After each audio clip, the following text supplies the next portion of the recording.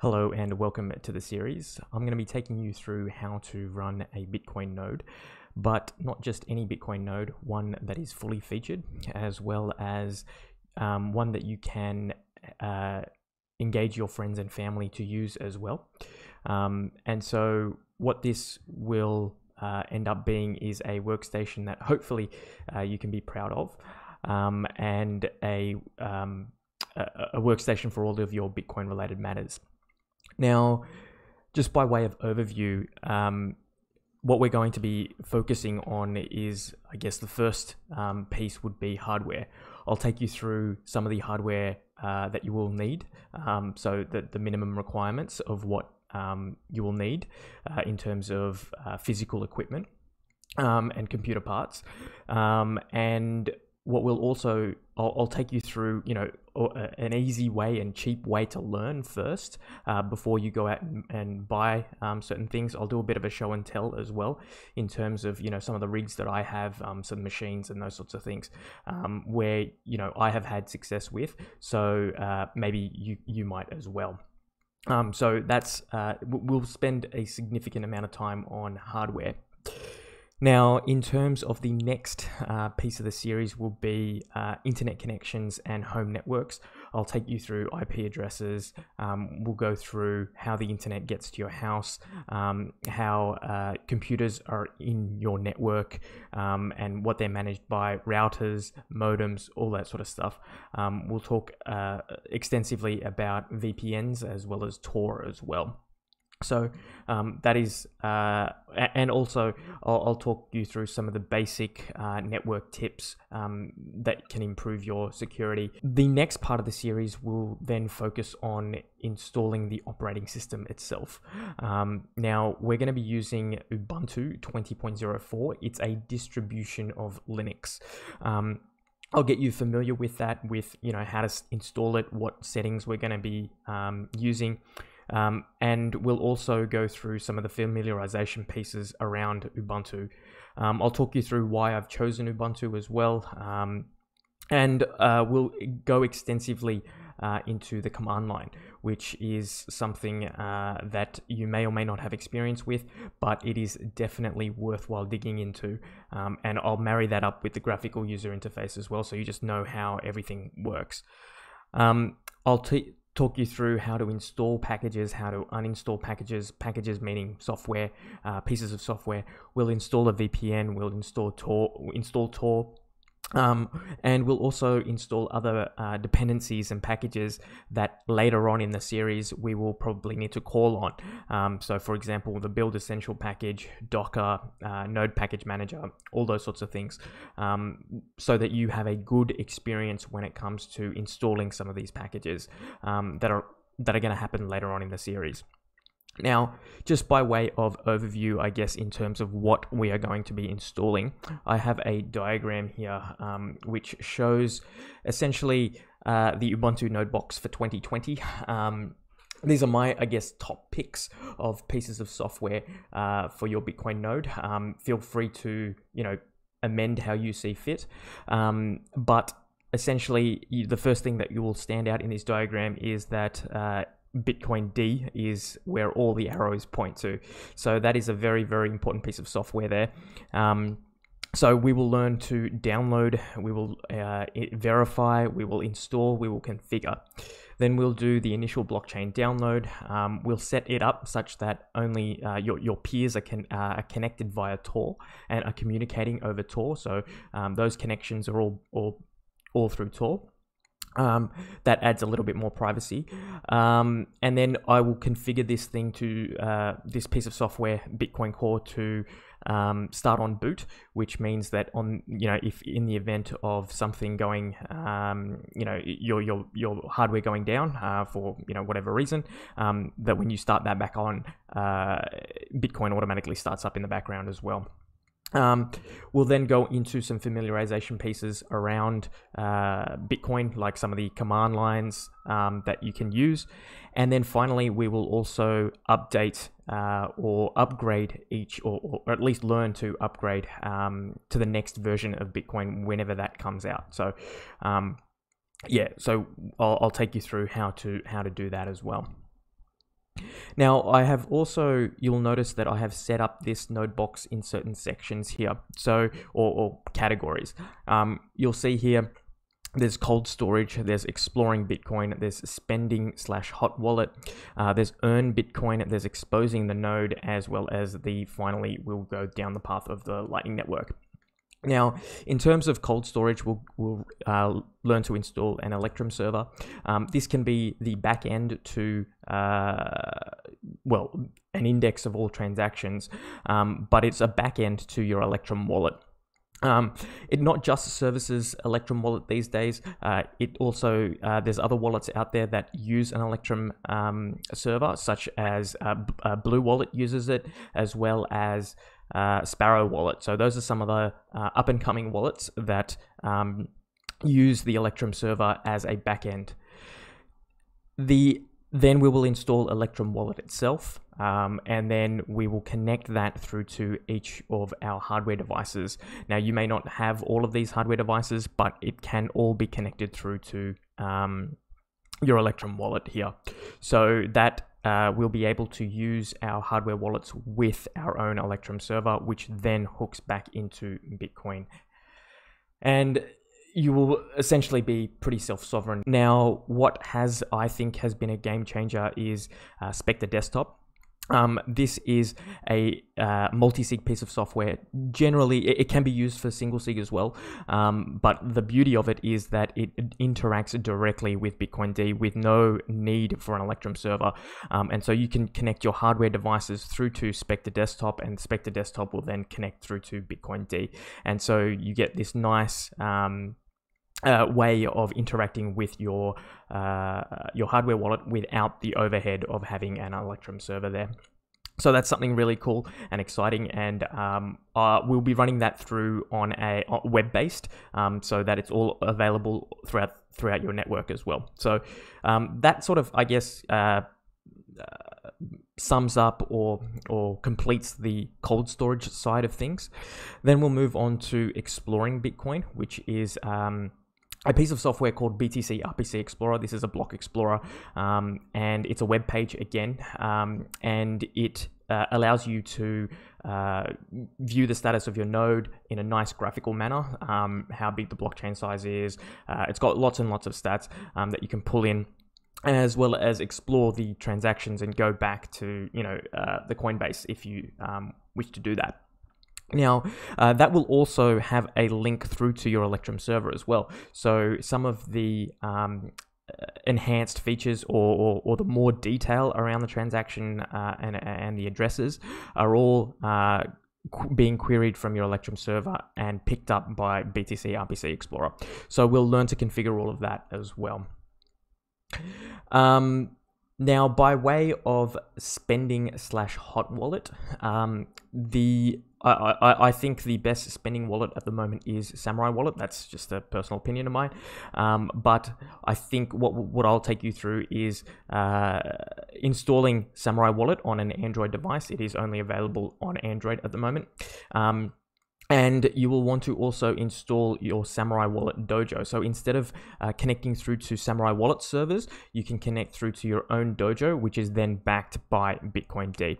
Um, so that is something that we will uh, look to do and install and configure and all that sort of stuff and be a, a, reliable place for you to have your Samourai wallet connected on the go wherever you are. You know, uh, as long as you've got internet connection, you will always connect back to your own dojo sitting at home. So that's something that we will take advantage of. Um, the other thing that we will also install is Whirlpool CLI, which is um, the CoinJoin implementation. This allows us to uh, sit uh, or, or, rather mix our or participate in CoinJoins 24/7 and keep remixing uh, those coins uh, in the background. Um, adding to uh, your privacy and the privacy of others. So that is a, a, another key piece of software that we will be installing for coin joining. And so that presents the entire, I guess, Samourai wallet stack, um, and I'll go through that in extensive detail. Now, the next part will be earning Bitcoin. I think that this is um, a very, very important project. It's called BTCPay Server. Uh, we'll be doing the manual deployment of that, um, uh, and that is backended by uh, a piece of software called NBXplorer, which then hooks into Bitcoin D. Um, so we will install and configure this um, and we will uh, manually deploy this um, and I will also uh, show you how you can expose this safely out to, to the rest of the world um, such that you know uh, other people can pay you for your goods and services. And what you might want to do is then integrate this with, um, say, for example, a Samourai Wallet uh, XPub, and you can then, uh, you know, uh, people can pay you directly into your Samourai Wallet. You can then mix it, and then maybe you can put it into cold storage from there. Um, so that is a, a nice rounded way of, of earning Bitcoin, mixing it, and then storing it or spending it, um, depending on how, how, how you see fit and so that is something uh, that is a nice workflow there i think that presents a really really nice framework for you to to to earn bitcoin um, the next part is to then expose this node. Um, we've got two options here. We can go down the VPN route or we can go down the Tor route. Um, now, I, the way that I like uh, that I have uh, I have found to be the easiest way um, is through ZeroTier, and we'll talk uh, more extensively about that when we come to um, that section of the series. So at this point, you can allow computers and mobile phones and devices to connect through to your own node. And so they can connect through to your Electrum server. They can connect through to, um, you know, your uh, any other service that's running. So for example, uh, BTC RPC Explorer. And then they might even be able to connect through to your Lightning Network uh, once we get into that. Now, that is um, a really, really uh, that's again a very good uh, open source um, uh, piece of software uh, that I use uh, extensively, and I think it it presents really really good value when uh, you don't want to do, be too, configuring too much around with your router and opening up ports and those sorts of things. So I'll explain ZeroTier and how we can um, use that to our advantage, and it's free as well. So that's that's fantastic. Um, the other piece of software that we will come down to is the Lightning Network or the other category. Um, we'll install LND, which is the Lightning Network daemon, um, and we will then uh, go on to configure that, install it, run it through Tor, uh, all of that good stuff, and then we will install RTL so that we have a nice graphical way of, of accessing it. Again, that's another web page based piece of software. Uh, then we will also install LND Connect. Um, and so your LND Connect will then uh, allow you to connect Zeus Wallet, Zap Wallet, and all these other things, so that you can, um, you know, connect through on the fly on your mobile phone, um, and so you can have Lightning transactions going uh, again using ZeroTier. Um, you can then connect back to your own home and use it outside of your network, no matter where you are. So that's really, really good. Uh, the other piece of software that's not I haven't listed here is uh, LND Hub. So I'll, I'll, take you through the LND Hub. So that allows you to open up sort of like accounts um, for people. So if you want to uh, share that uh, LND node, so you become the um, the channel manager, and everybody else kind of just uh, uses that Lightning Network node. That presents, I guess, a, a, a complete plan or an overview of, of all the software um, that this one machine will handle. So, what are some of the advantages to a, a node box like this? I think, um, you know, I, I think one of the key advantages is a little bit more sovereignty. You get to pick and choose exactly what you want to install and what you don't want to install. You also get to choose when you update it and if you want to update it. Um, and it's a little bit more, I guess, self-sovereign in that in that respect. The other advantage is, I think that if you use a normal, uh, you know, uh, general purpose computer uh, to do this on, I think you can get it done on the cheap, but also you'll get more grunt, um, and it'll just be a little bit more, it'll be a bit more snappier.